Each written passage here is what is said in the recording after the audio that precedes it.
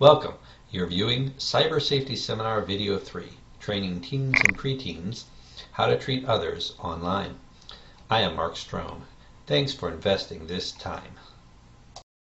The Internet, as well as computer programs, have made it easy to communicate, with text, pictures, and video being easily distributed to hundreds or even thousands.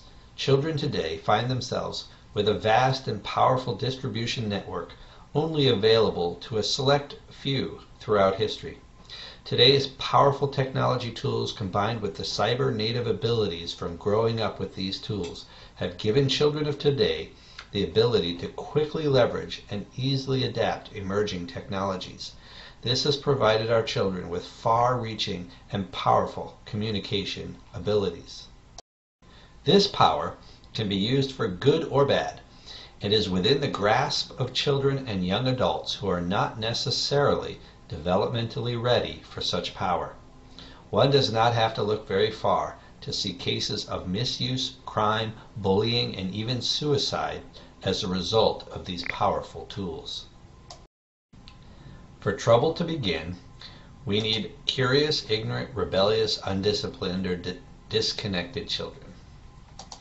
Easy access to tools of power such as computers, cell phones, cameras, online video games, etc. And then places that are unprotected or unmonitored. These three ingredients, when mixed together, cause trouble. Trouble in the form of a three-eyed monster. This monster brings exposure to inappropriate material, injury to individuals, as well as participation in illegal activities. This monster destroys lives. Until a tragedy occurs, many parents and leaders do not recognize just how powerful this monster can be. To avoid the monster from ever rearing its ugly head, we must learn to neutralize the three ingredients. Cyber Safety Seminar seeks to help parents in this important job. There is a very effective three-pronged attack against the three-eyed monster. Teach, train, and keep our children accountable control and limit access to tools of power, protect our children and monitor where they go and what they do. This video will deal with the first of these important steps, teaching, training, and holding your child accountable. Because of the importance of this first step, that of teaching and training children, we will break step one into three videos. This video will deal with training your child to treat others according to Ephesians 4 and 5. First, let's agree that parents are responsible to teach their children. God lends a child to a specific set of parents. Churches, schools, and other organizations can assist and help parents out. But these organizations are not designed to take the responsibility of raising children. Due to the fractured nature of today's families, where parents and youth have different church services, TV programs, online experiences, etc., it is increasingly important that parents be intentional about their responsibility. One area Cyber Safety Seminar has identified as an important area for attention, how a child treats others. Parents can help by example, through loving instruction and training, and by setting clear expectations. For more on these expectations, you can go to Colossians2.com for information on a short parenting book entitled Loving Limits. Loving Limits will help you with the process of discipleship.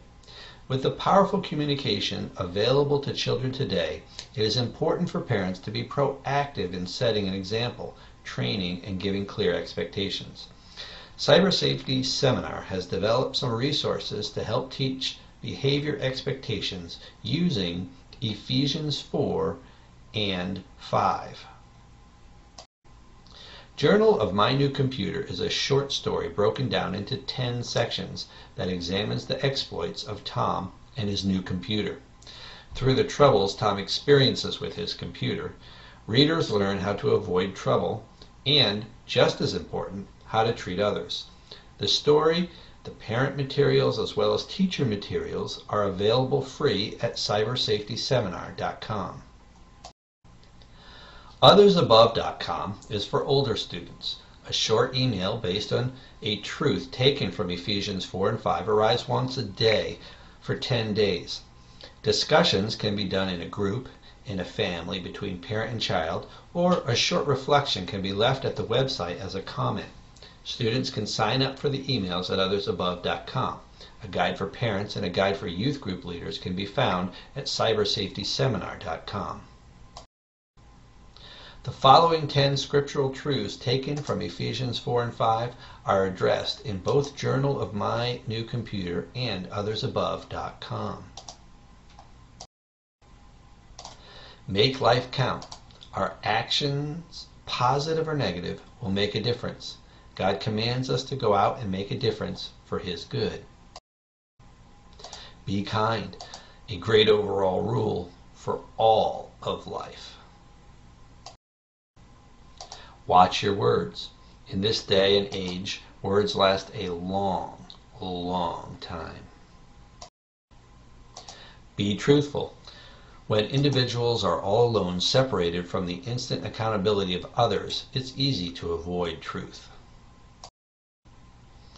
Don't be foolish. How much of the web is based on rude, crude, and foolish behavior? Yet God clearly warns against it. Expose wrong. Instead of enjoying sin, God has called Christians to expose wrongdoing. Forgive others, a powerful message for today.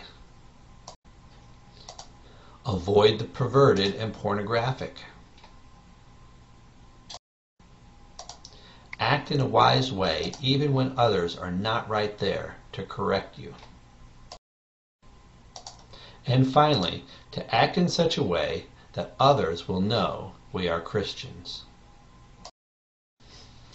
If you would like to find out more about these materials or to download the Journal of My New Computer, parent, teacher, or youth group leader materials, or sign up for the emails from othersabove.com, visit Cyber Safety Seminar today for more information.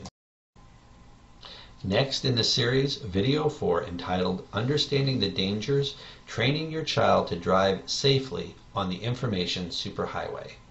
Please tell your friends about the free materials found at Cyber Safety Seminar